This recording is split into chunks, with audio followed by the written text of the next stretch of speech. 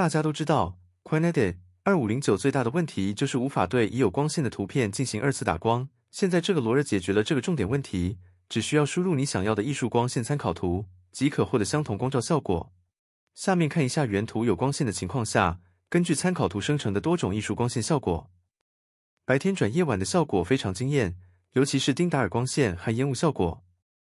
由于这个功能已经触摸到模型能力边界，其他主流模型效果也并不好，例如豆包、极梦、Nano Banana Pro，并且 Nano Banana Pro 还非常考验提示词。我直接输入指令，结果出来一个奇怪的图片。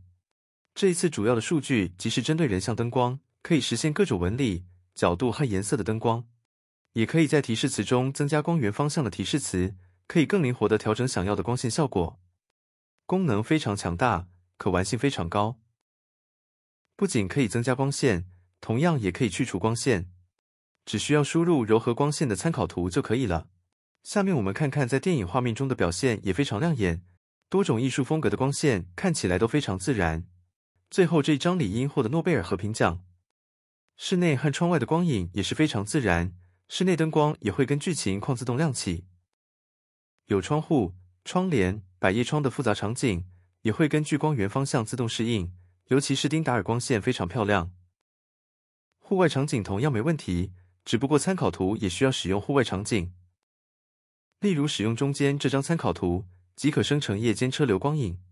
这里给大家展示一下使用不同的参考图生成的效果。一般情况下是根据参考图的光源方向，自动匹配光照方向和纹理。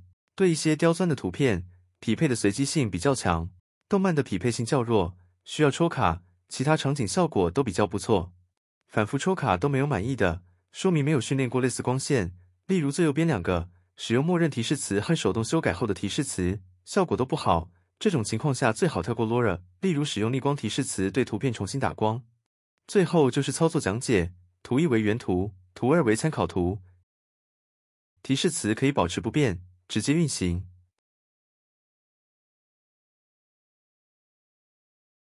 可以看到效果还不错，原本肩膀和头顶的光线都被替换了。下面是高清放大节点，最大可以放大到 4K，速度快，而且细节丰富。